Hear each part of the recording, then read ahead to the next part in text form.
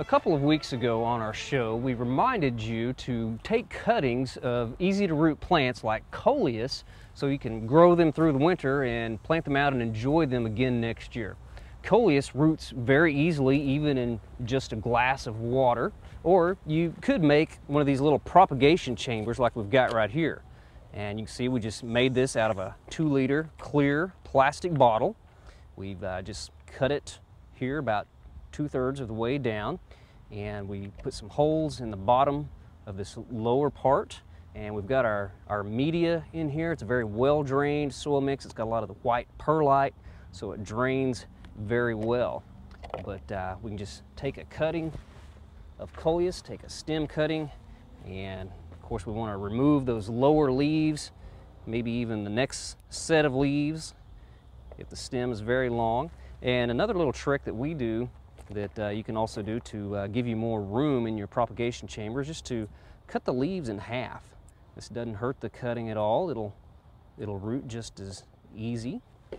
And what we'll do next is to come and dip this cut end into some rooting powder. This is rooting hormone. We'll just kind of cover that lower stem, getting some on the, uh, the node there where those, where those leaves were. This rooting powder is something you can get at pretty much any nursery or garden center. You want a very weak one. This is a number one rooting hormone. You don't want to get anything that's too, uh, too, too, too large of a number because uh, you can get some acid burn on your plants that way. But uh, once it's, it's coated, we'll just kind of tap it to knock off that excess rooting powder. And then I like to just take my, my pinky or a pencil and just make a hole in the soil, put that in, and then just kind of firm it in. Now we pre-wet this media, but you don't want to keep it just soggy all the time while you're trying to get these roots. You just want it to be a little bit moist. And then the, uh, the top part of the uh, chamber is the top part of the bottle. You see we've cut a slit in two sides here. And we did that so there wouldn't be too much heat build up inside there. And we just slip this on. Another thing you can do to keep the heat from building up in there is to come by and maybe take the cap off occasionally.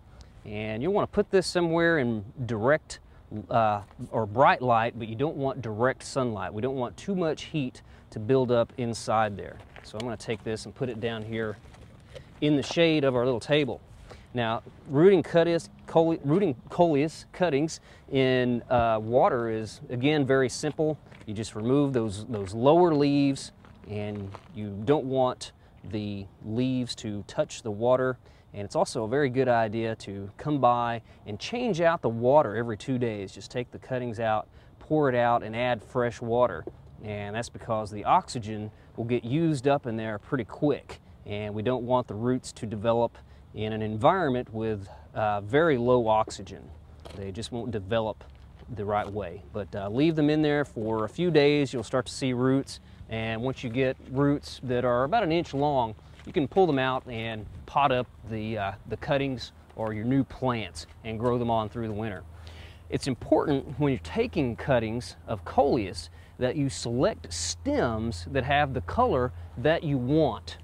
Right here we have a variety of coleus or cultivar called Amore and you can see the unique colors, kind of the pink bottoms of the leaves but also right beside it, this somewhat less desirable greenish plant is also Amore. And what happened is the grower took cuttings of the plant, but they took different stems that had different colors. And they ended up with plants that look almost completely different. Uh, even on the same plant, you can have portions of the coleus that have different colors than some of the other stems. So it's important that you go in and you select those stems that have the best color.